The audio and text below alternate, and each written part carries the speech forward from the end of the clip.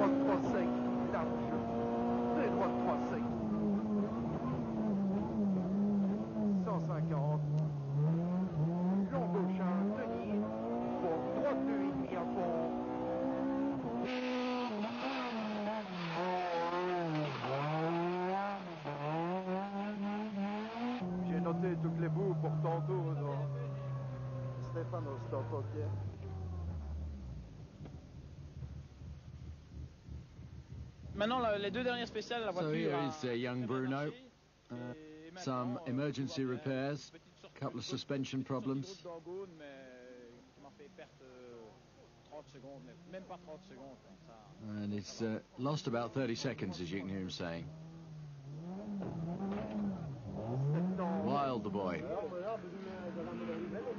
Well, unlike Group A, the title in Group N has not yet been decided, and uh, Mark Timmers is so close. But uh, right behind him in the points, uh, Jean-Marie Millicent. Il n'y de... Van der Voa is uh, also going to be out there in Group N. Van der Voa's uh, co-driver has also got a bone to pick with. Those three, Timmers, Millicent and De Voa, are going to be battling it out. No love lost, it should be interesting. Timmers gets uh, a pretty good start in the rally. And he gets his Mitsubishi uh, into fourth position. He's behind, that's fourth position overall, right? He's behind Snijers, Duez and Verreijdt, but uh, just in front of Bruno Thiry.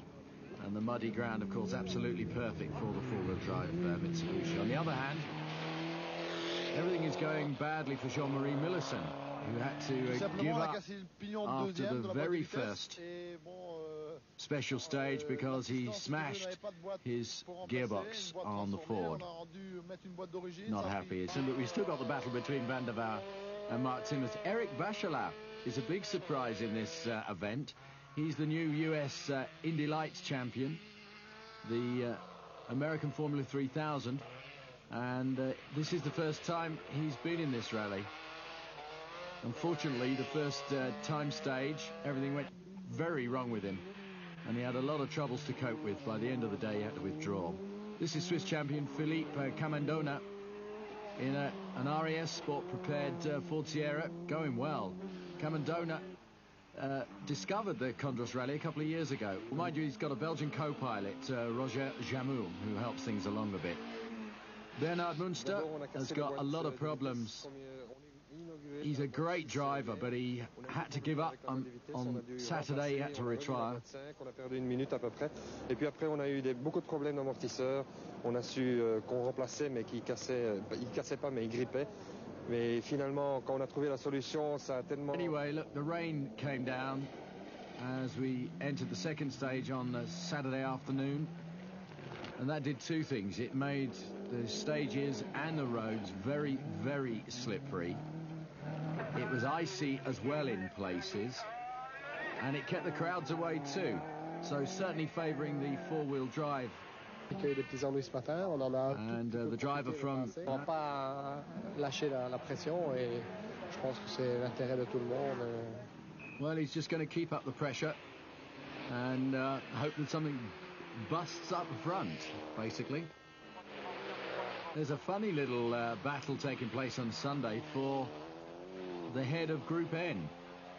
Uh, we've got Guy Colsoul leading uh, the Group N, and he's placed overall fourth behind Snijers, Verreijdt, and Duez. Uh, he's first in Group N, so it's a good performance.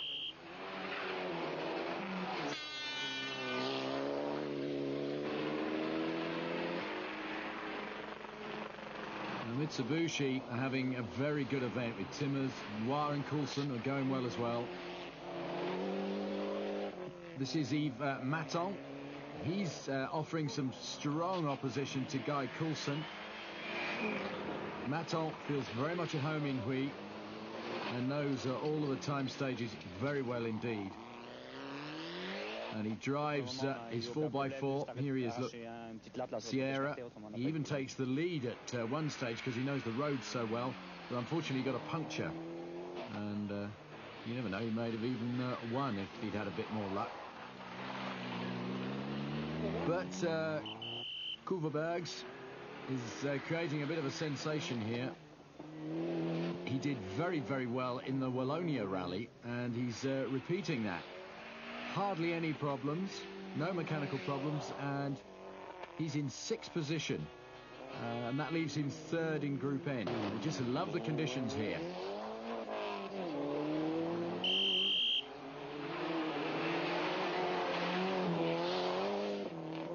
Tout se passe bien, on continue notre petit bonhomme de chemin. On Here's the driver, just in front of the Danish driver, uh, Svanholt, in his Golf GTI, who's placed 14th.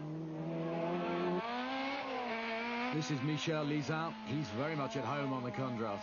He's a journalist, actually, who specialises uh, in the World Rally Championship, and he likes to come here at the end of the rally season and uh, give it a bit of welly around the home area of Huy. And he did very well here a couple of years ago in an Integrale, and everyone remembers that.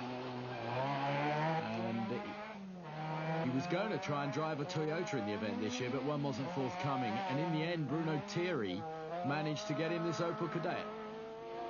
And he ended the event in 10th position, just 20 minutes away from the winner, so that's not too bad, is it? Here's Mark Timmers. He, he had problems with his turbo throughout. It cost him four and a half minutes. Ça se passe bien, on essaye de faire des temps scratch parce que on n'a rien d'autre à faire parce qu'on est quand même 4 minutes derrière tout le monde avec les 6 minutes This is what he's saying. He's de- four and a half minutes uh, behind the world, behind everybody else. And so he hasn't uh, got a chance of winning, but he goes out there and does a good job entertaining the crowd. The crowd love him anyway.